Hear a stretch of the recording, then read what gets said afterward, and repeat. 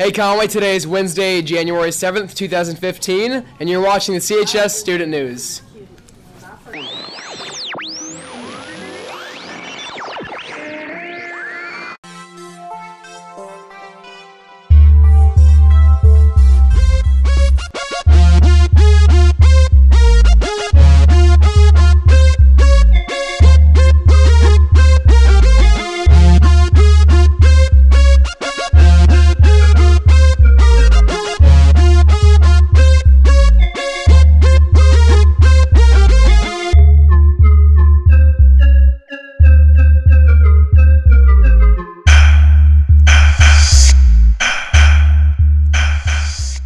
I'm Matt, And I'm Peyton. and here's your news.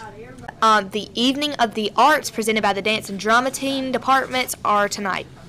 Uh, it is from 6 to 7:30 p.m. in the main auditorium if you're interested.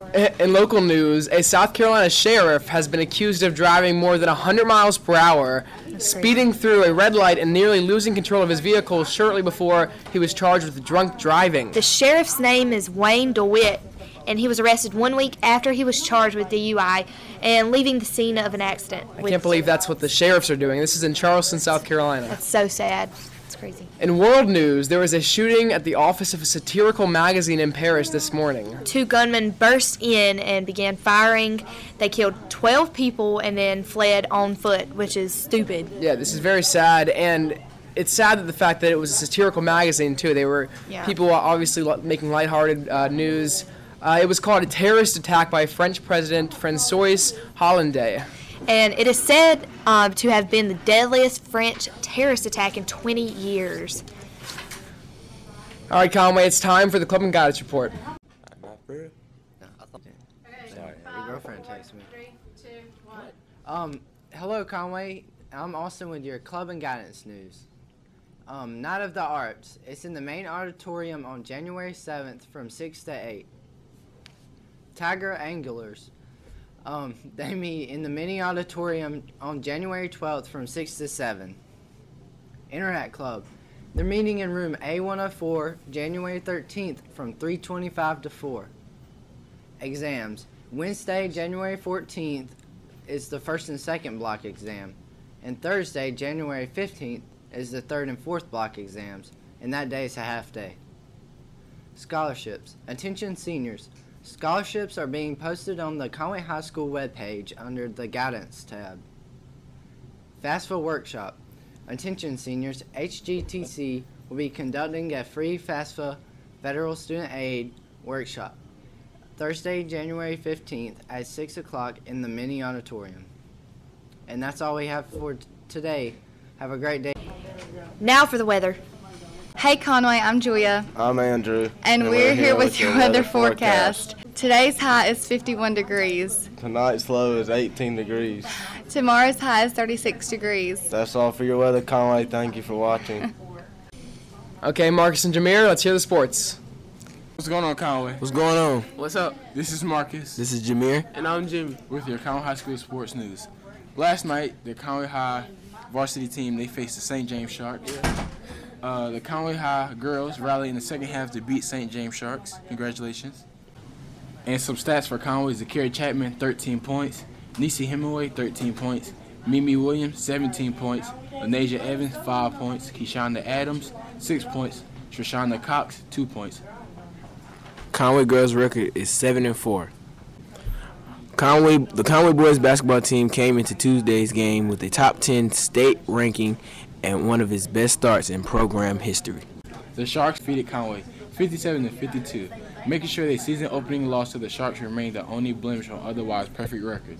For Conway stats, Jalen Hennigan had 21, Tyrell Denny had 1, Christian Jeffords had 12, Trinique Richardson had 6, Brian Edward had 6, and Bernard Venable had 6 points also. Conway High's varsity boys basketball team record is 10 and 2. Now to the sports lineup. This Wednesday, the Conway High wrestling team will have a tournament here at Conway at 5:30 p.m. The boys the boys varsity basketball game was held yesterday and they lost against St. James 56 to 51. The girls' varsity basketball team won 56 to 42. Tomorrow, Thursday, January the 8th, 2015, the Conway High JV basketball team will be facing North Myrtle Beach Chiefs at North Myrtle Beach at 6 o'clock p.m. Also, anybody who's interested in playing soccer, soccer conditioning after will be held after school on Wednesdays and Fridays from 3:45 to 4:30. You must have a physical to participate. That's all for your Conway High School sports news. We out. Yeah. Thanks, guys. Now let's see the feature of the day. Hi, this is Demisha and Bria with the Tiger News feature of the day. If your teachers have shared with you our final days of first semester, then you have seen what our exam schedules look like. We have four days of EOC testing and two days of final exam. We decided to get some studying suggestions from one of our curriculum coordinators, Mrs. Kelly Wilson.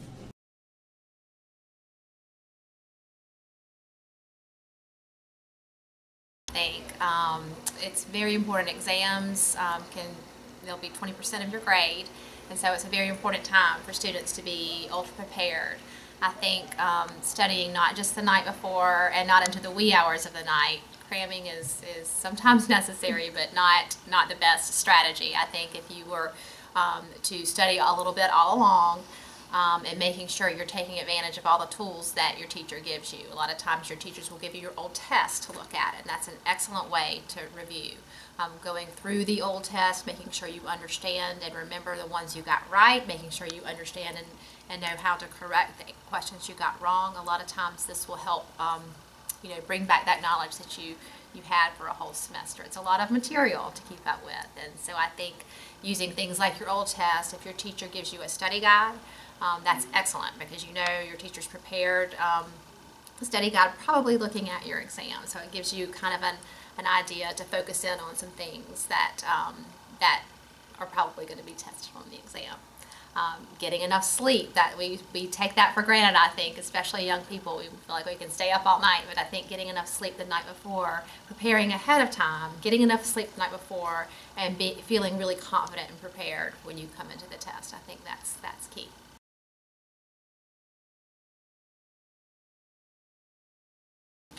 Um, for teachers, I think it's, it's very important for teachers to prepare your students for what's coming.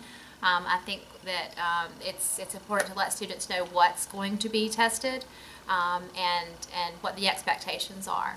Um, any help as far as study guides go, as far as letting uh, them review old tests or quizzes, um, holding tutoring sessions before an exam, I think is, is a good, good thing, and most of our teachers here at Conway High School are very good at that.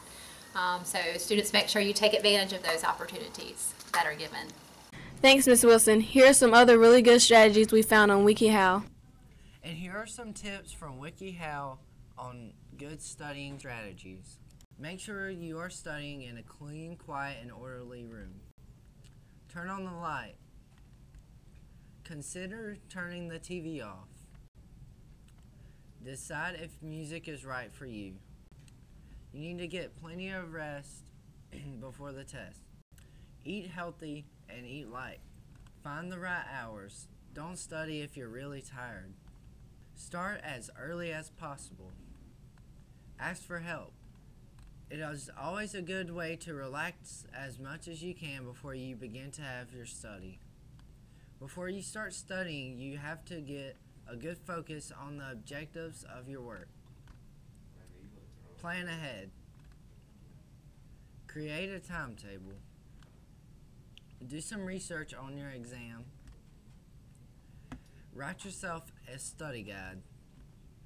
Use your notes. Take breaks. Think positive, but work hard. And work with others. Good luck during exam season and try to stay stress free. Now back to Matt and Peyton.